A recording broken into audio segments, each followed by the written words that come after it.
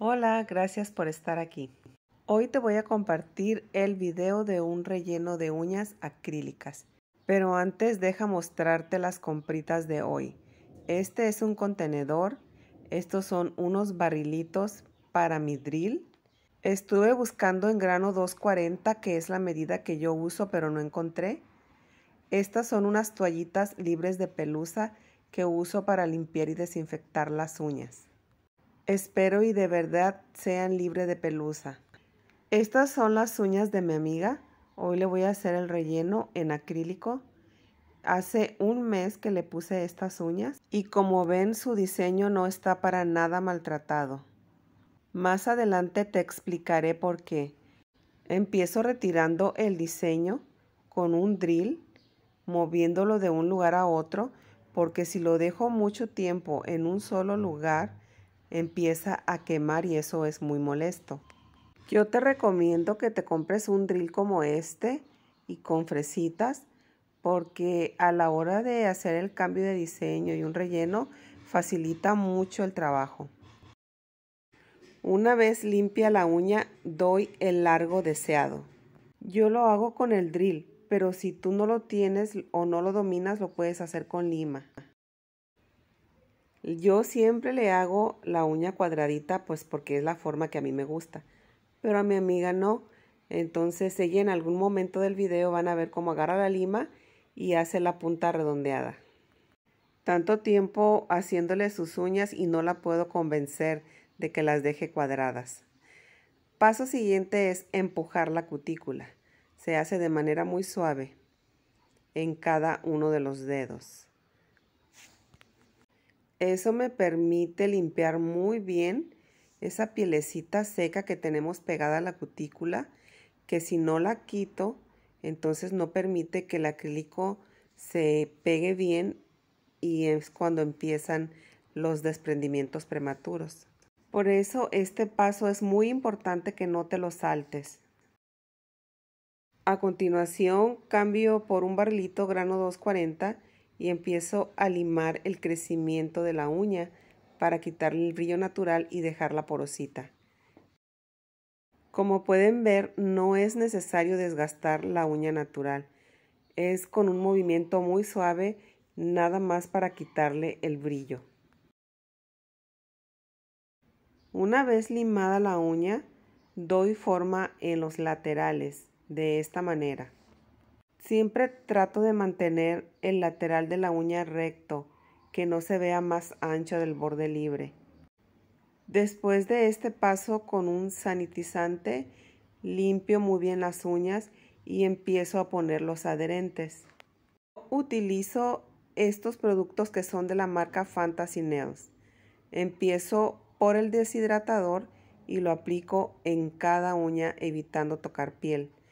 El siguiente será una capa del Bond, igual en cada uña evitando tocar la piel. Y ahora sí tengo bien preparadas las uñas para empezar con el relleno. Utilizo acrílico cristal y monómero universal. El pincel que estoy utilizando no tiene marca, solamente tiene que es número 10, aunque yo lo veo un poco grandecito. Tomo una perla pequeña y la acomodo de manera de que no se me derrame hacia los lados y trato de ponerla de una manera pareja para que a la hora de limar yo no sufra tanto.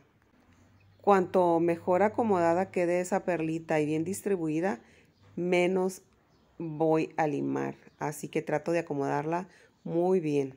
Evito que las perlas queden muy húmedas para que las pueda manejar mejor y no tocar la cutícula. Lo siguiente es desprender el acrílico con esta lima entrando por los laterales. Cuido siempre estar limando el acrílico.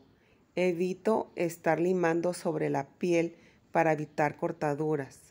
Una vez limados los laterales, empiezo a limar la superficie para dejarla parejita y así cuando meta el drill el limado va a ser mucho más fácil.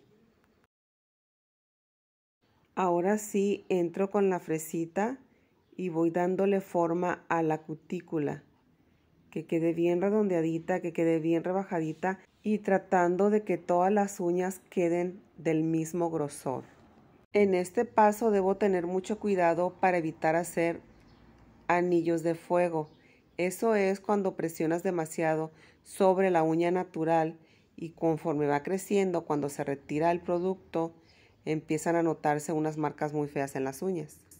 Este último paso, yo he visto que hay chicas que lo hacen con lima manual, pero la verdad yo nunca he podido.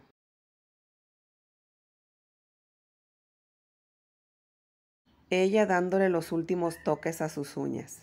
Para decorar voy a utilizar en el dedo anular este tono que yo hice más transparente agregándole top cop cristalino.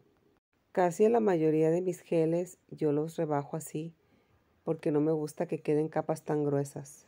Y en las uñas restantes aplicaré una capa delgada de base para que proteja el color y no se desprenda. Una vez aplicada la base, meto a curar el lámpara por un minuto. Es muy importante que la base quede muy bien aplicada sobre toda la superficie acrílica para que el color no se vaya a desprender. Tal vez con otras marcas de geles no se necesite esta capa de base, pero en los geles que yo manejo sí he comprobado que si no lo pongo empiezan a desprenderse y pues no me gusta eso. A mí me gusta que el diseño regrese completito, sin daños. Una vez seca la base, empiezo con la aplicación del gel. Aplico en capa delgada y meto a curar a lámpara por un minuto. Si me llega a pasar que mancho la cutícula o la piel, agarro un pincel y lo humedezco en monómero o limpia pincel y con eso limpio el contorno. Para sellar el color aplico este gel de la marca Musa en terminado mate. Una vez más lo aplico muy bien cubriendo todo el tono porque si no lo hago saldrán partes brillantes y no queremos eso. Aplico muy bien y en el dedo anular hago el diseño de dos corazoncitos y dos crucecitas y meto a curar a lámpara. Y listo, espero que te guste el resultado. Gracias por llegar hasta el final de este video. No olvides suscribirte y darle like. Y nos vemos la próxima. Bye.